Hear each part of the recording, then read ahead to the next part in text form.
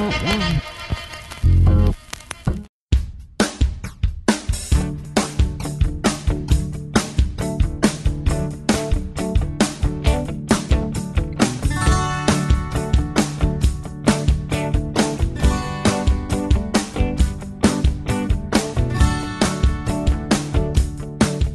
Выехали более трех недель назад с города Благовещенска.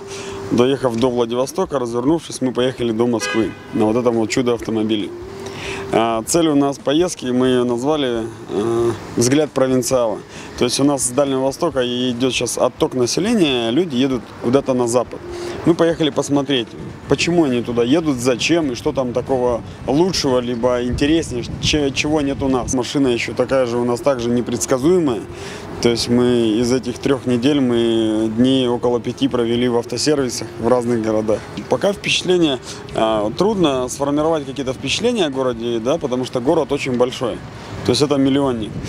И центр очень красивый, исторические здания. Вот у вас э, нам очень нравится, когда архитектуру пытаются содержать ее правильно. Дома у вас вот эти вот э, вековые, но они очень красивые, то есть нам вот это тешит нас. Мы сейчас прошли по центру, сейчас поедем куда-нибудь в глубинку, мы обязательно заходим во дворы, то есть смотрим, что у вас происходит во дворах. Не просто красивые да, фасады, а что вообще в городе. То есть дороги, люди, транспорт, дворы, зелень, озеленение, уборка города и тому подобное. Побольше вам улыбок, пожалуйста, и да просто хорошего настроения, хорошего летнего солнечного настроения.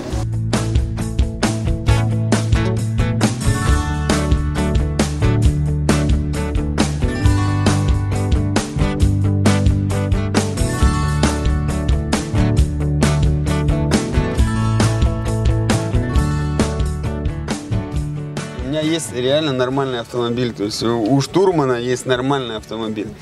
А, Когда я ее купил, я ее купил вообще, чтобы в городе выехать раз в месяц, просто людям улыбки подарить.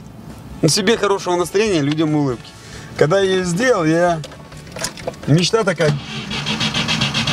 Детство была. Объехать нашу огромную страну на автомобиле. Если ехать на нормальном автомобиле, там скорость будет зашкаливать по трассе, то есть ничего не увидишь. На этом едешь, крейсерская скорость 80. Мы видим абсолютно все, нас видят абсолютно все.